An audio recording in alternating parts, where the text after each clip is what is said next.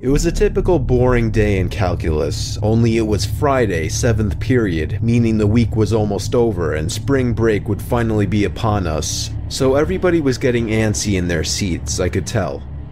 We didn't have a test that day like a lot of my friends did with their other teachers, so our teacher in the middle of class just decided to start playing games with us on Sporcle.com. He was a very laid back teacher like that, as we were doing some brand logo quiz on Sporcle, I remember the exact moment it happened. Right after my friend answered a question, I remember the exact answer too, Adidas. The dean's voice came through the loudspeaker. He sounded panicked and frantic as he told all the teachers this was not a drill and to go into lockdown.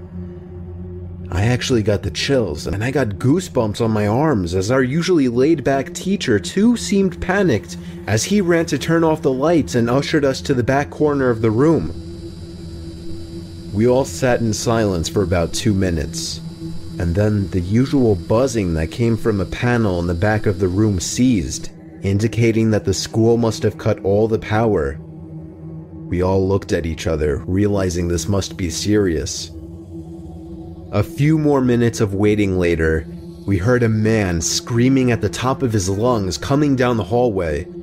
Two girls in the class actually started crying, which made all of us even more scared. As the screaming got closer to the classroom, the lunatic sounding man started banging on the lockers while screaming, I'll kill all of you. It was at that moment that I started to fear for my life my teacher shushed us as we all looked at each other to see our peers' reactions. The banging then moved from the lockers to our classroom door.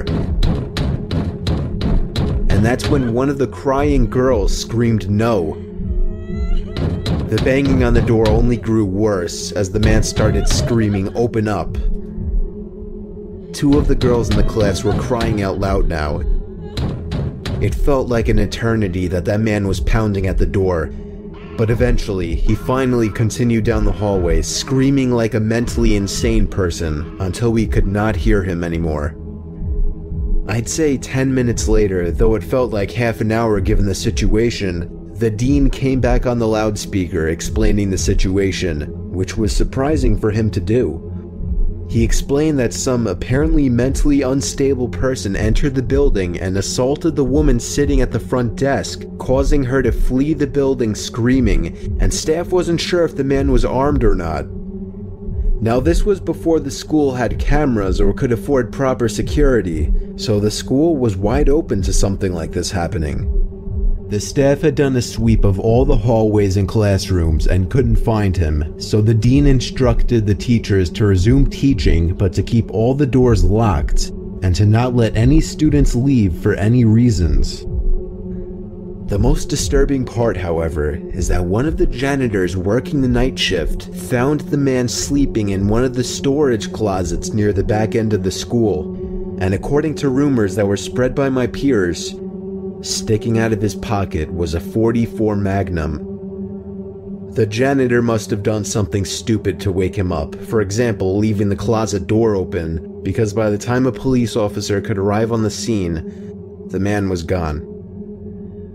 My entire class, as far as I know, to this day, has no idea if this man was ever found, but I like to think that right now, he's being given the proper help that he needs.